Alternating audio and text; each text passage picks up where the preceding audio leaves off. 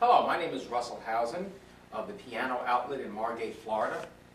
And today I'd like to show you uh, the basic uh, setup and operation of a Piano Disc Magic Star silent system with a record strip. Magic Star, basically what that is, it's a, uh, a digital interface that enables the piano to transmit MIDI and also enables you to practice the piano silently with the use of headphones.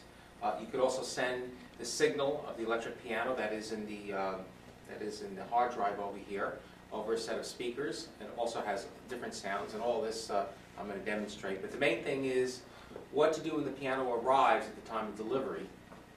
There's certain things that you should be aware of when you have a piano technician come and perhaps tune the piano or maybe you might have to remove the action. And so the modifications that we've done to this piano, you just have to be aware of these, uh, these factors when, uh, when servicing. Uh, when the piano comes and the piano is set up like you see it here, um, basically, uh, what, what you need to do is you're going to need to remove the fall board, which is, this is the keyboard cover. The reason for that is because when we ship the piano, the, the action or the inside of the piano is going to be tied down so that it doesn't uh, shift. And uh, once you remove the uh, fall board, then you have to unscrew the key blocks.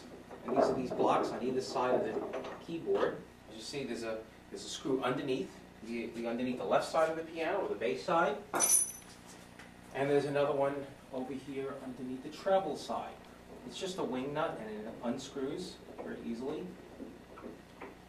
to Help give you access to the inside of the piano. This one here moves out. And then you remove the key slip simply, that's the front here, right from the keys, is simply by pulling up. See, it's got three dowels that correspond to three holes in the very front of the piano. Now,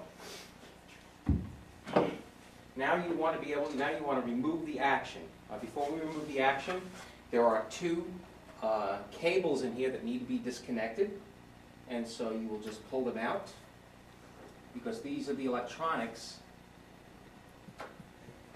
And as you see, there's two cables here. They need to be just disconnected.